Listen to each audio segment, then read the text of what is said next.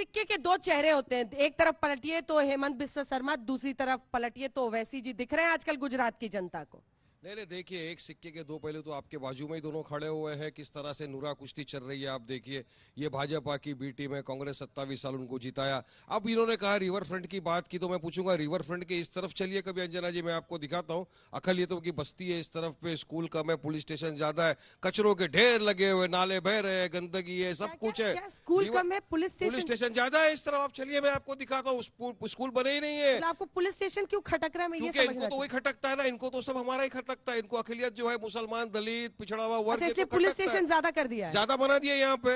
इनको विकास तो दिखता नहीं है इनको खाली अब्दुल रशीद दिखता है हर तरफ़। अब बात नंबर दो इन्होंने कहा कि हमारी लगता है की अखिलियतों के खिलाफ है पुलिस स्टेशन? अगर उन इलाकों में ज़्यादा है तो दिक्कत क्या है मतलब? अखिलेतों के खिलाफ तो पूरा भाजपा है आपको तो पता है जब से भाजपा सरकार सत्ता में आई है वन साइड जंग छेड़ दिया इन्होंने मुसलमानों के खिलाफ तो। हम्म। हिजाब का मुद्दा आपने नहीं देखा ट्रिपल तलाक का नहीं देखा आपने? आपने नहीं देखा कि किस तरह से ये हमारे हलाल गोश के ऊपर आ गए बच्चों को पकड़ के पोल से बाँध के मारते हैं लिंच करते हैं मगर कोई आवाज़ उठाने वाला नहीं है और हम आवाज़ उठाते हैं। तो अब आप दूसरी बात आपने ये कहा कांग्रेस वालों के पीछे के कहा है इनके सदर तो मैं बताऊँगा।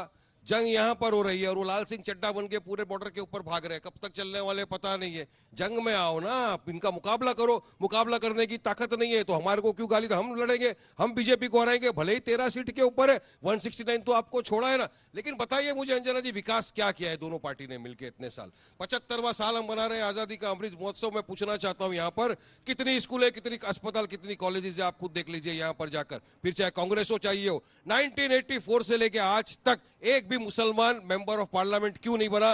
लास्ट है अहमद पटेल साहब उनके बाद ना इन्होंने किसी को एम्पावरमेंट किया ना आगे कभी ये करेंगे। नब्बे फ़ीसद इनको कांग्रेस को मुसलमानों के वोट चाहिए मगर करना कुछ नहीं है। दो दिन पहले इनके मंत्री बोलते हैं हमको गर्व है बाबरी मस्जिद का ताला हमने तोड़ा।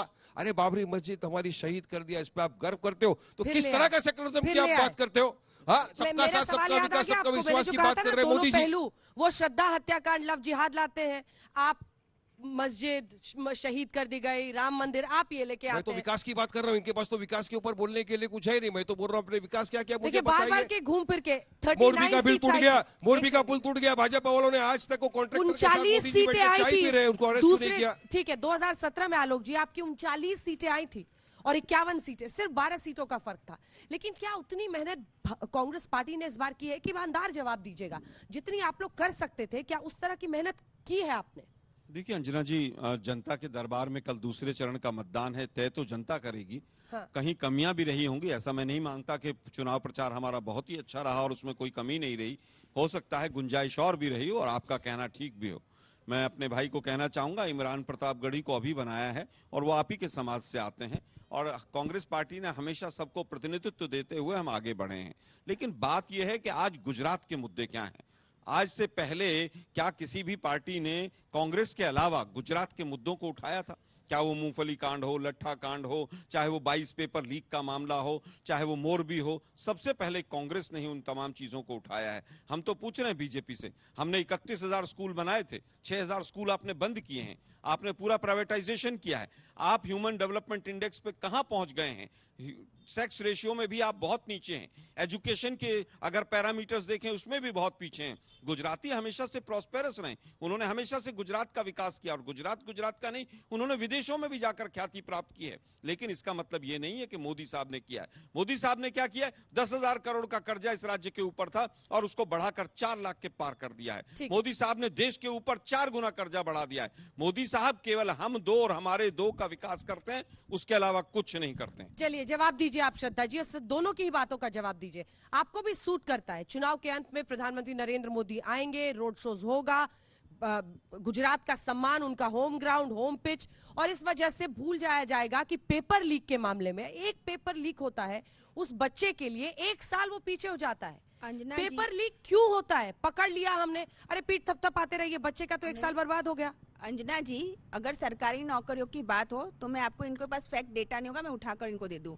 1985 से लेकर 1995 तक जो सरकारी भर्तियों का कैलेंडर होता है ये इनके तत्कालीन मुख्यमंत्री अमर सिंह चौधरी जी ने बंद रखा था जिसके ऊपर से वो सरकारी कैलेंडर ये पेपर लीक पर आपका जवाब है। पेपर लीक पर भी आती हूँ। 27 साल से आप सरकार है प्रभु। लेकिन मैडम आप मेरी चीज़ सुनिए 27 पेपर लीक के जितने भी पकड़े गए ना उसमें से दो से तीन तो कांग्रेस के कार्यकर्ता उनके नेता भी पकड़े गए। मैं चार्जशीट में नाम आलोक जी को दे देती हूँ मेरे भाई साहब है देख ले कि लखविंदर मुझे, सिंह का एक भी बड़ी मछली नहीं पकड़ी गई। अरे बड़ी कांग्रेस का नाम मत लीजिए अगर कांग्रेस के लोग इन्वॉल्व बड़ी होते मछली तो छोटी मछली क्या? पता नहीं कितना बड़ा विरोध के प्रदर्शन एनएसयूआई कर के लोग होते हैं चार्जशीट में नाम बताइए, एक नाम बताइए कि साहब ये बड़ी मछली थी, हमने पकड़ लिया है। चार्जशीट के एक नहीं, 22 22 paper out Shraddha ji counter question आप कह रही कांग्रेस के कार्यकर्ता थे कांग्रेस पार्टी से जुड़े हुए थे। जो- तो अच्छा, आपकी सर एक सेकंड तो आपकी सरकार रोक नहीं सकती? नहीं, कांग्रेस पार्टी के कार्यकर्ता ऐसे ही पेपर लीक करते रहेंगे ये जवाब कैसे हो सकता है? मैडम लॉ एंड ऑर्डर आपकी लॉ एंड ज़िम्मेदारी ऑर्डर है। Law and order law and order control में है गुजरात का। यहाँ पे जितनी सेफ्टी है पूरे भारत भर में उतनी सेफ्टी नहीं है। यहाँ का रेशियो उठाकर भी आप देख सकते हैं क्राइम्स के रेशियो उठाकर भी देख सकते हैं।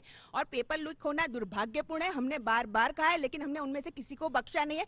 सारे के सारे जेल के सलाखों के पीछे है कोई के कोई घूम नहीं रहे हैं बाहर। और उनके और देखिए देखिए मोरबी गुजरात के लिए एक वो दुखद हादसा है जिसकी, जिसके ऊपर हमेशा जो नब्ज दबाने की आप कोशिश कर रहे हैं और राजनीति करने की कोशिश कर रहे हैं, मुझे राजनीति मत कराइए कि मैं भोपाल गैस कांड के ऊपर चली जाऊँ।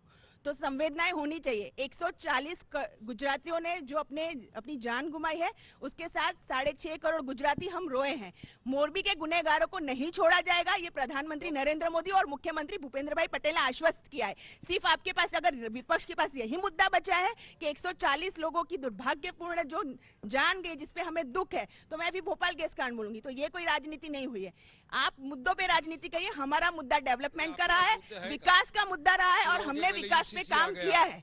ठीक है ना? और वो विकास के ऊपर आज रिवर फ्रंट के ऊपर डिबेट कर रहे हैं एक्ट बनाने का ठीक याद है? तो एंटी रेडिकल सेल में आपको क्यों तकलीफ़ हो रही है? क्यों तकलीफ़ जो नहीं होगी? कट्टरवाद पुलिस कट्टरवाद फैलाते हैं हाँ। अगर उनको पकड़ा जाए पुलिस का एक सेल बने इसमें लिए तो क्या दिक्कत है? नहीं बिल्कुल पकड़ना चाहिए ना। हाँ। बिल्कुल मानो के बलात्कारियों को भी पकड़ो। जिस जो रेडिकलाइज यूथ था जिसने हमारे पार्टी के प्रेसिडेंट असदुद्दीन ओवैसी के ऊपर गोलियाँ चलाई उसको पकड़ो उसको तो आप छोड़ देते हो। बलात्कारी बाहर छूट के आते तो उसको आप संस्कारी ब्राह्मण बताते हो।